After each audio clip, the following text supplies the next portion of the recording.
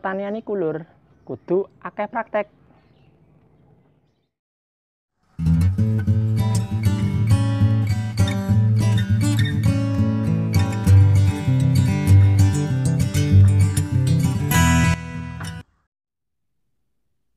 Assalamualaikum lur. Ibarat awak dhewe ameh renang. Apal ilmune apal teorine tapi ra tau nyeblung ning banyu ya pas nyeblung pertama iso glageben lur ya ta? Apa meneh dhewe ra duwe ilmune langsung nyebur. Ya nek secara naluri ya iso iso tapi ya iso juga glageben dadi ya kudu imbang lur. Teorine ya oleh prakteknya ya oleh. Kan ngono.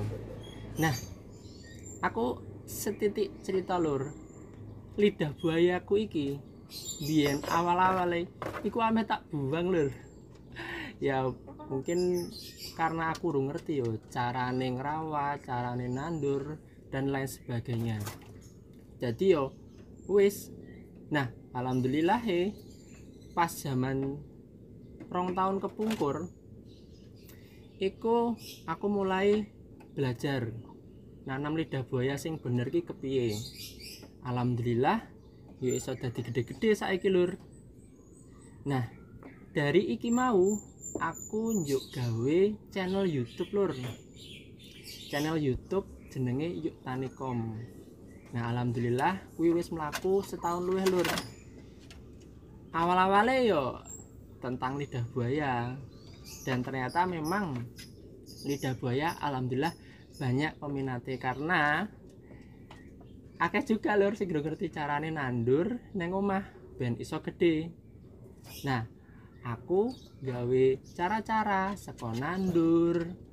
Ben gede kepiye mengolahi kepiye manfaatnya opo jadi uang sing nandur lidah buaya kuwi nek ngerti carane ngerti manfaate kuwi kan seneng to lur.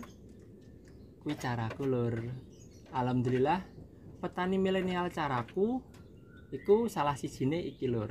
Aku iso bertani dengan lahan sempit lur. Itu paling ukuran 3 kali 3 lur. Ukuran 3 kali 3 kamarmu ukurannya sepiro lur? Foto yo. Nah iki iso gawe channel YouTube. Alhamdulillah wis menghasilkan lur. Pemuda milenial tidak harus memiliki lahan luas. Manfaatkan yang ada terus berkarya. Oke lur. Tetap jaga protokol kesehatan lur. Pakai masker cuci tangan jaga jarak hindari kerumunan dan apa sih terakhir lur? Aku lali. Salam petani sukses lur